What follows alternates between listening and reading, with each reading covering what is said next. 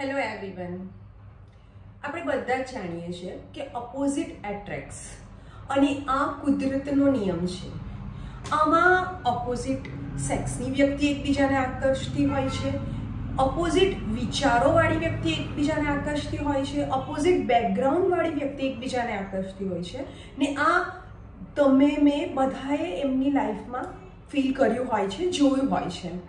તો આજે આપણે વાત કરીએ કે જે લોકો એકબીજાને ઓપોઝિટ એટ્રેક્ટ્સ કરીને, જે લોકો એકબીજાના પરિચયમાં આવતા હોય છે, એકબીજાને ગમતા હોય છે, એ વ્યક્તિ જેને એકબીજાની કંપની ગમતી હોય છે, તો એ વ્યક્તિઓ જ્યારે લાઈફ પાર્ટનર બને છે બેસ્ટ ફ્રેન્ડ બને છે બેસ્ટ બિઝનેસ પાર્ટનર બને છે કે પછી કોઈક ને કોઈક રીતે એકબીજાના કનેક્શનમાં આવે છે કે કોઈક સારી રિલેશનશિપમાં હોય છે.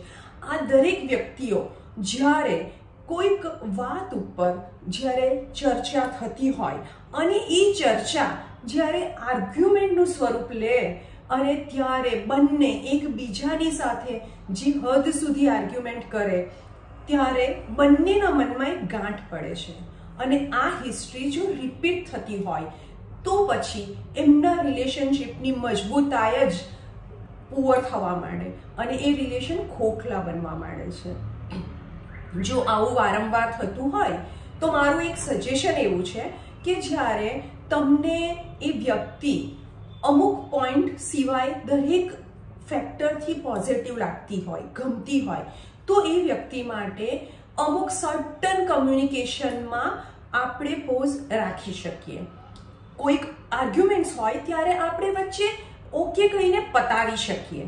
અથવા તો પછી એ વ્યક્તિને એ કોમ્યુનિકેશનનો કે ચર્ચા કરવાનો અવકાશ ન મળે એ વિશેનું એટમોસ્ફિયર આપણે બનાવી દઈએ. તો એનાથી શું થશે કે તમારા વચ્ચે જે સ્ટ્રેન્થ છે, તમારી રિલેશનશિપની જે સ્ટ્રેન્થ છે, તે વધારે ને વધારે મજબૂત બનશે.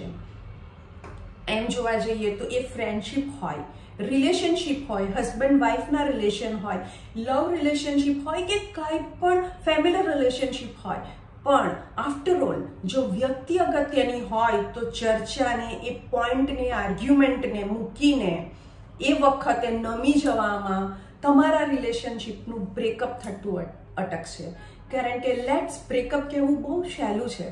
પણ એ જ બ્રેકઅપને પેચઅપ બનાવીને આખી જિંદગી હસતા અને એકબીજાની સામે સાથે કોન્ફિડન્સથી આંખો મેળવીને જીવવું એ ખૂબ અઘરું નહીં, પણ સમજદારી ભર્યું વર્તન રહેશે. તો હંમેશા પોતાને ગમતી વ્યક્તિ સાથે ઓલવેઝ લેટ્સ પેચઅપના મૂડમાં રહો એવી શુભેચ્છા.